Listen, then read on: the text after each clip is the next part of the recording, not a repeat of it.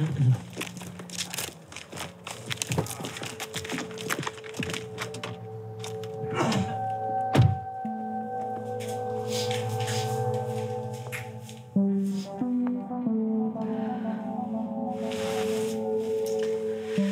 많이 춥다.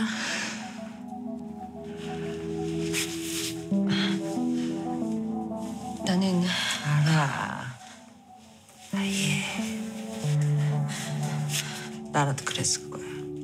또 이렇게 한 번 해야 또 속도 풀리고. 그치?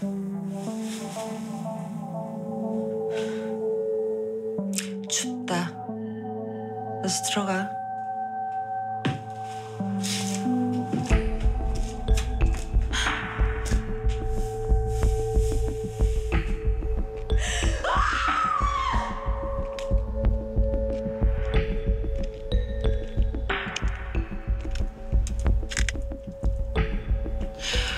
결국 따라왔네. 쇼타임 놓칠까봐 엄청 달려왔네.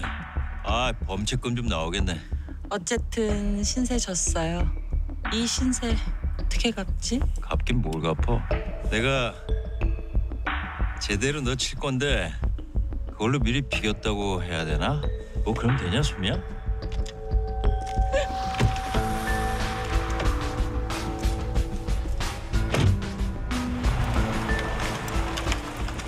우리도 따라 웃어야 되냐? 야, 해장국이나 먹으러 가자 얼큰한 거. 변호인 변론하세요.